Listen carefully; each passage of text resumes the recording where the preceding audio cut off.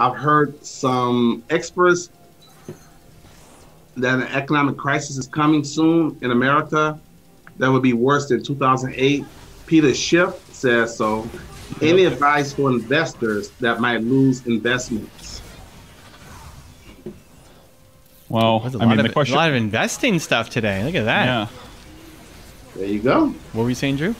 I was going to say, I mean, it really just boils down to like, so capital preservation is boils down to like, what's your mix and what are you exposed to?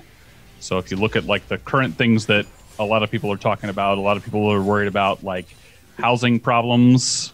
So Yeah. well, uh, so uh, there's current talks about legislation that'll get passed that'll deal with the uh, mortgage forbearance issues that uh, everyone's been talking about.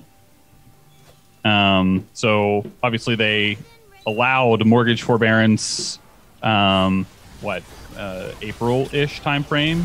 It really just boils down to like, what is your if you're going to be investing, what is what is the mix of assets that you currently have allocated, uh, and like we're kind of in a period where focusing on more cash flowing type assets is going to be um, way more beneficial right now. Uh, whether that will stay that way forever, who I mean, it never will stay that like that forever. There's always this question of growth versus value. It's funny. I really wanted to be. I thought I was going to be a, a trader.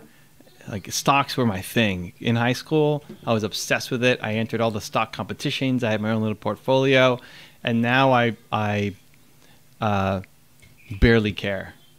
Um, and maybe that's not a super smart thing. What made you switch? What What made you? What happened? Um, I I discovered entrepreneurship. You know, so I I look at what I'm invested in.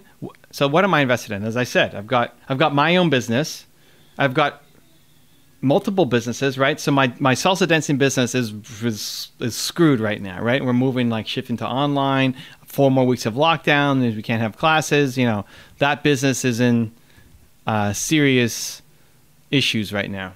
Um, my Evan Carmichael brand is stronger than ever. I'm not doing speaking, um, but the YouTube channels are blowing up. Uh, everything else that I'm doing is just crazy opportunities coming at me because everybody's going online.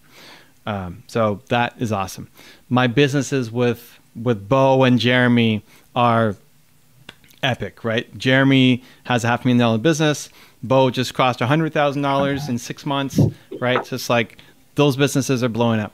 I don't see, I don't see, um, not that they're recession proof, but I don't see any of those things really causing harm to what I'm doing. Uh, now look at that's that's more active management, right? I'm I'm actually involved in those things. Um, where am I investing? Okay, well, I've got the index fund. Will the index fund go down? Yeah. Will the, will the Canadian market go down? Yeah, but I'm not I'm not a I'm not the swing trader. I'm not invested in it's like making a long-term bet on Canada. I'll take that bet. What's going to happen in the next 3 years? I don't know. I'm not paying attention to it. It's like that's not why you buy an index fund. The whole idea is that you're not buying it so that you're worrying about what's happening today, tomorrow, next month, next year. That's that's not the point. Um, the other two companies that I bought are Facebook and Amazon.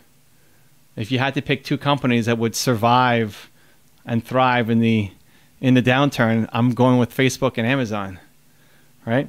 Um, so that's how I look at it. Is like, hey, if okay, if if recession comes or or people also freaking out about inflation, okay, inflation comes, what companies are most likely going to get hit really hard, and what kind of exposure do you have to those businesses? And if it's a lot, then you can start to adjust, and and if it's not, then you're good.